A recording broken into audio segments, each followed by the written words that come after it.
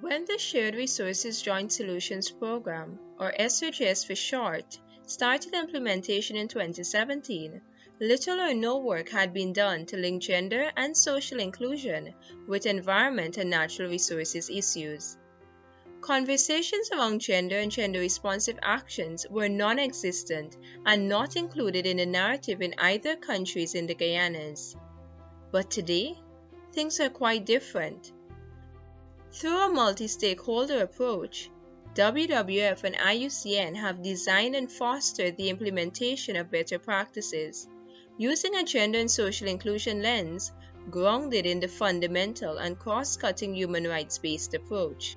Uh, the program has a large component on gender and social inclusion and it focuses mainly on creating the space to allow for um, increased participation in the decision-making processes for um, natural resource and environmental governance. Our focus has mainly been on capacity building and uh, building capacities within uh, CSOs, uh, those that are partnering with us in the, in the Guianas, um, including um, indigenous communities and um, government organizations, uh, and particularly also ensuring that we, um, we allow for gender mainstreaming into um, initiatives at the CSO level or at the government level. These efforts enabled increased participation in decision-making processes for natural resources and environment governance. For men, women, boys and girls. For vulnerable groups and indigenous communities. For young people and for the population at large.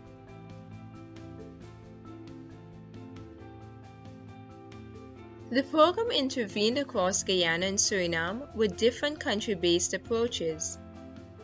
In Guyana, it rolled out a twofold approach.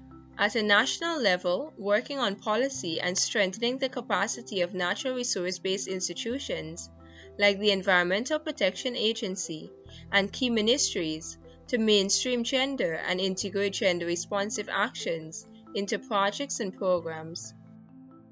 For me, that workshop is one of the most memorable training that I've been on um, in my career as someone that works in this sector. Um, I really was mind blown by the, the story of the tree samplings that you got that I think it was in Africa whereby they were surveyed a group of women and men and they asked them to list the trees that they found to be important to their livelihood and the two different the lists were completely different. And what you found was the list that the women completed they were they were trees that you needed to carry out your livelihood and medicine and food and things like that. So i always think back of that example because if you didn't had if you didn't do the work of engaging women you wouldn't have gotten that information.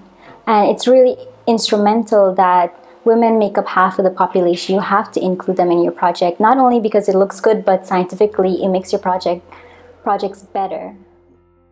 We are developing a developing country, and you have society would place a lot of emphasis on male. We no longer in that era. So we have to get our female on board, working as equal partners. So, in terms of the environment, it must not be dominated by male alone. We must have female, and they must be recognized for their contribution in sustaining the environment. The program also strengthened the capacity of local partners, such as indigenous communities and the University of Guyana, where course modules were redesigned to transfer key competencies on environment and social justice and on ethics to address the root causes of environmental degradation and conservation.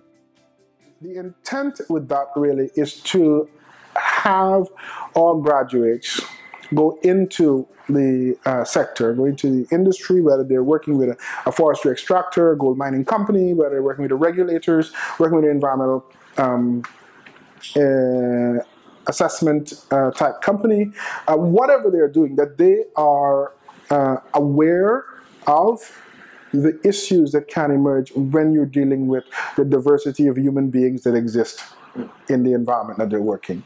And to be able to uh, take actions and, and, and, and, and influence uh, decisions that will accommodate that diversity and, and ensure that the decisions that are taken, actions that are taken, are uh, at the end of the day just to everyone that's involved, including the the non-human element, uh, the environment in, in, a, in a broad context.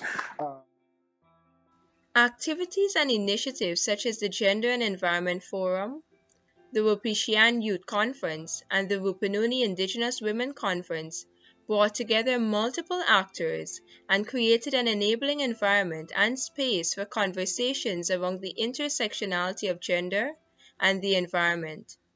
Over 500 persons from various backgrounds, mostly indigenous women and youths, joined these events. And I think now is the time that we should be stepping forward so that our voices can be heard as women, as indigenous women, to stand up for our rights, right? And and to I mean for the world to recognize us too, that we have a strong um, rights for indigenous women.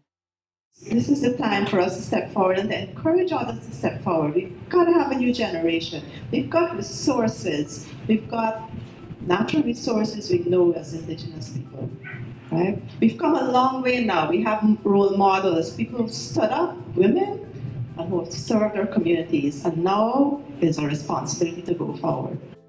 So how do we build capacity? How do we enable the participation of people so that the decisions that are made today have this view which is goes beyond today. It's views which are 10 years from now, 20 years from now? And how do we make the right decisions for those who are most vulnerable? The youth, the women, the, the less represented people within our society. And the Shared Resources Joint Solutions is really very much about building capacity and enabling participation of people. In Suriname, the focus has been mainly on capacity building among the SRJS partners towards a better integration of gender equality into existing programs, activities, opportunities. This was done in partnership with Projekta, who actively engaged a number of civil society organizations and government representatives in Paramaribo, Suriname. It was a bit new, maybe for the most of the conservation organizations here in Suriname. It's like a kind of new thing we had to take into account. Yeah. Initially, we were uh, we didn't know a lot about gender, so uh, we got some training, and we also included the gender in our code of conduct. And uh, in our work, we also started to use it more. The challenge is uh, especially culturally based because if you work with forest dependent livelihoods, the people have traditions and often they are very stick to the traditions. So the challenge is to try to make a good inventory of involve the people and try to slightly change the situation for more equity and equality. How do we um focus on gender but still respect their culture because that's that, that's not our goal. Our goal is not to bring Western culture to their um, way of living, but to kind of create an, an, equality. We have to figure out if it's an injustice for them. So I think that's something that I think we still need to talk about a little bit more, um, and which is also a reason why SRJS is so great because you get different organizations, but we also have the tribal community, and they come together and we can discuss the way we approach different um, problems and different um, also just opportunities. Yeah. A tool was also developed to support gender mainstreaming into projects and plans, including government-led initiatives. Those, those of you who have been part of our gender uh, uh, capacity building trajectory, you know, you know where we start and uh, how long it takes to make people really understand that it's not about being men or being uh, female, not about women's rights, and that at the end of three hours, you understand that it's a prison. It's a construct of, of, of, of human beings. It's a, it's a that imprisons, imprisons us all and, and hampers our freedom to be who we are. So. Over 120 participants from varying backgrounds including government, civil society and community representatives participated in the events and activities, building their understanding on gender tied to human rights issues and opportunities across environment and natural resource sectors. As we evolved over time, uh, gender, um, its understanding, the intersectionalities around gender, um, how it impacts various uh, sectors in our society became clearer. And so um, it was taking an ethical approach to development in terms of how do we ensure that we are um, working for the highest impact. It is through these activities and initiatives that SRJS created the space to understand gender equality, equity, human rights and most vulnerable groups within the environment and natural resources sector in Guyana and Suriname. This was more than just a donor requirement, and in fact, building on the momentum gained, SRJS partners are now ensuring those guiding principles will continue to live on. This goes beyond the scope of the program. It is a huge step forward towards the protection of vital ecosystem resources and towards the empowerment of both men and women.